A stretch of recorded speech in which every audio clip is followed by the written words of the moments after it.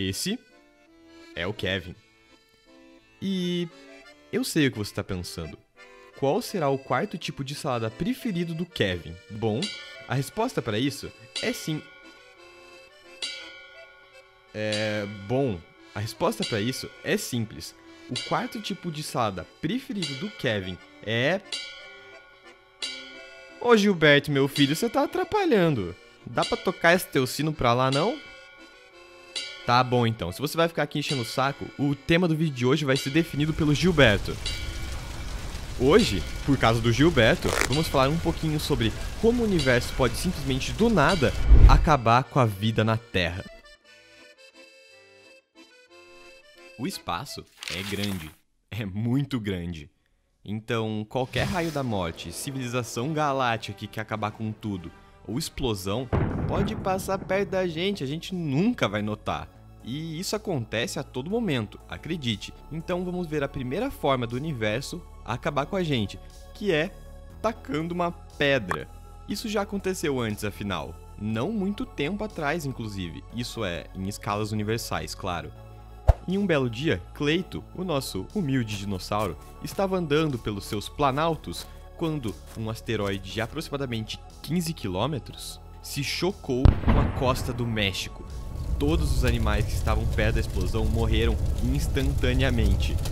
Mas apenas o asteroide não seria capaz de acabar com todos os dinossauros da forma que aconteceu, porque agora vai começar uma série de fatores problemáticos. O impacto causou tsunamis gigantescos, terremotos de alta magnitude e erupções vulcânicas. O impacto também lançou na atmosfera quantidades absurdas de CO2, e isso causou um efeito estufa no nosso humilde planeta, desestabilizando todo o clima da Terra. Porém, a pior parte vem agora. Esse nosso meteoro dos dinossauros, ele caiu em um dos piores lugares possíveis para ele ter caído. Ele caiu numa região do México que na época era toda de oceano, mas era uma área do oceano relativamente rasa, e a nossa pedrona se chocou com rochas de gesso mineral e liberou quantidades colossais de enxofre na atmosfera, o que prolongou o efeito estufa. Então, basicamente, tudo que era grande morreu. Os dinossauros eram grandes e precisavam de muita comida. Então, com o passar do tempo, a situação foi piorando e a comida para dar energia a esses gigantes foi sumindo. Então,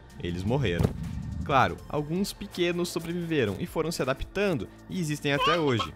O que acontece é que hoje em dia ainda é um perigo real que um asteroide possa bater no nosso planeta. Na Terra, ocorreram muitas mudanças, sociedades se ergueram, impérios colapsaram, mas o espaço continua o mesmo. Esses pedregulhos continuam por aí. Computados, temos pelo menos 14 mil asteroides que estão em uma distância definida por distância perto da Terra, um nome não muito criativo.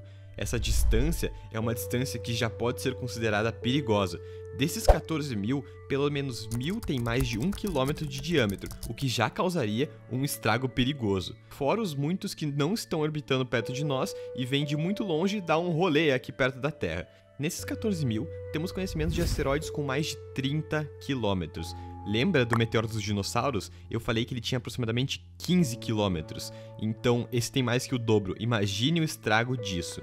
Alguns asteroides, as agências espaciais conseguem detectar por meio de observação de vários dias. Quando eles acham que tem um asteroide em algum lugar, eles reportam para várias outras agências e alguns astrônomos independentes com seus telescópios, e todo mundo vai tentar provar que realmente tem um asteroide lá. Uma vez seja provado que ele existe, ele vai ganhar um nome estiloso e então entra nos dados dos seres humanos.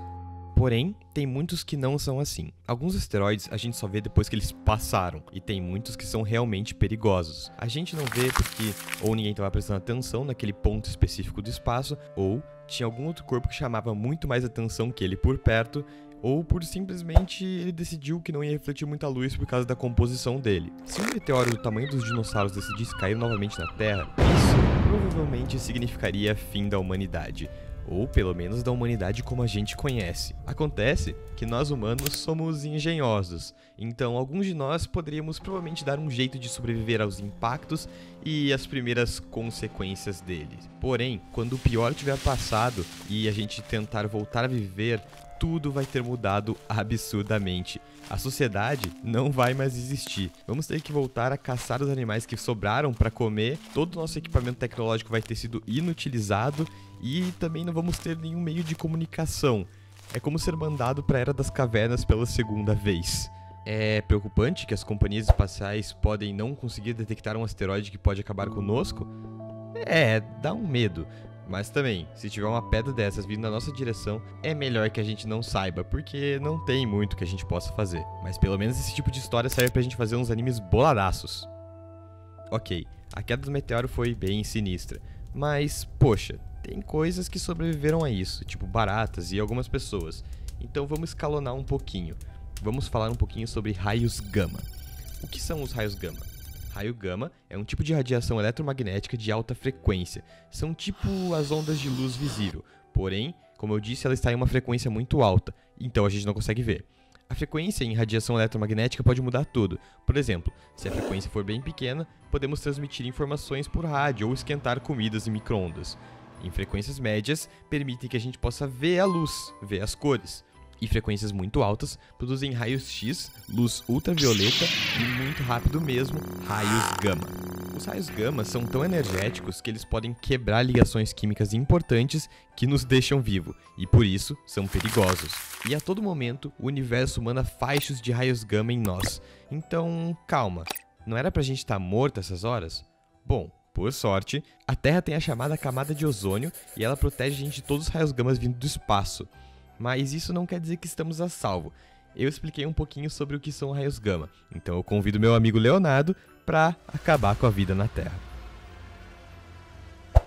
Os raios gama possuem muita energia, inclusive energia o suficiente para quebrar o DNA dos seres vivos. Mas quais são as fontes de raios gama? Aqui na Terra, elementos como urânio e polônio emitem raios gama, Porém, o verdadeiro perigo está fora do nosso planeta. Quando uma estrela morre, ela explode gerando um evento chamado supernova, e ao explodir, essa estrela pode lançar dois feixes de raios gama em direções opostas. Mas essa não é a única fonte desse tipo de radiação. Quando duas estrelas de nêutrons se fundem, muita da energia dessa colisão é liberada dessa mesma maneira, além de criar um buraco negro. Tudo que basta é ter o azar de estar no caminho do laser. Se os raios gama vierem de perto e tiverem uma duração longa, digamos que nos atinja por 2 minutos, seria o suficiente para arrancar uma grande parte da camada de ozônio, e então estaríamos desprotegidos contra todo tipo de radiação vinda do espaço, inclusive a radiação do nosso querido Sol. Toda essa radiação mataria boa parte das plantas. Os animais herbívoros morreriam de fome e por fim os animais carnívoros sumiriam, por simplesmente não ter o que comer. Então já dá para perceber que nós humanos não aguentaríamos muito no nosso planetinha azul, pois além da fome, ocorreriam chuvas ácidas que matariam a vida marinha e contaminariam os oceanos. E também a incidência de câncer na população mundial aumentaria drasticamente. A pior parte disso tudo é que a gente só vai perceber quando já estiver acontecendo.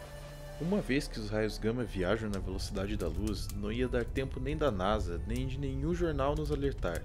E quem estiver do lado de fora de casa vai fritar igual batata no óleo, e não vai ter protetor solar que te salve. Até agora nós falamos apenas de eventos que acabariam com a vida na Terra. Mas agora eu vou levar isso a um outro nível: a destruição de todo o universo. Eu, o Kevin, o meu gato, e até mesmo um Gazorp Zunkler deixaríamos de existir de uma forma mais rápida e muito pior que a instalada do Thanos. Tudo no nosso universo tende a atingir o menor nível possível de energia. Imagine que você está soltando um foguete na noite da virada do ano. O seu foguete tem muita energia contida na pólvora. Você acende e ele sai voando. Quando a pólvora queima por completo, o foguete ainda tem energia porque foi erguido a vários metros do solo, então ele começa a cair. Quando finalmente atinge o solo, ele alcança o menor nível de energia possível.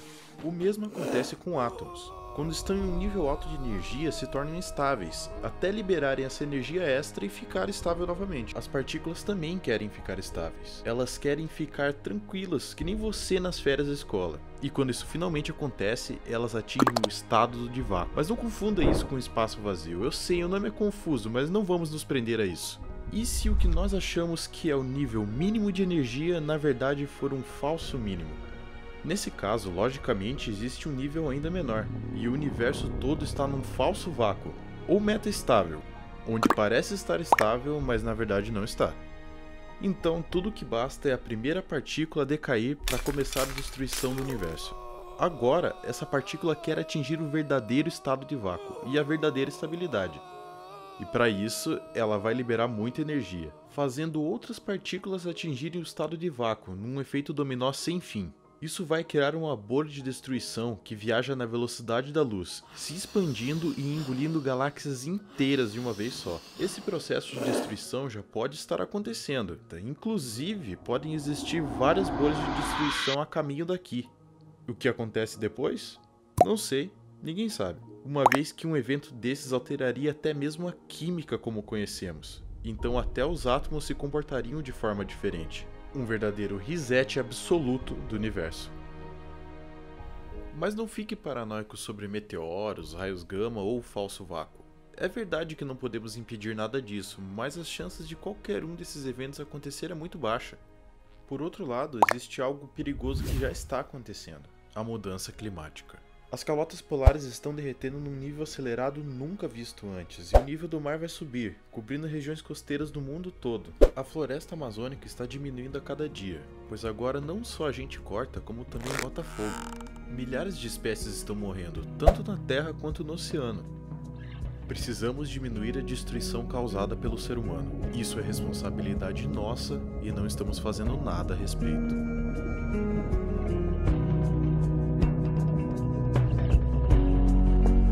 Many miles we walk, the many things we learn, the building of a shrine,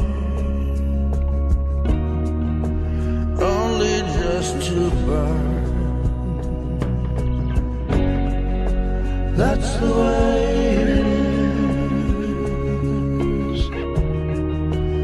That's the way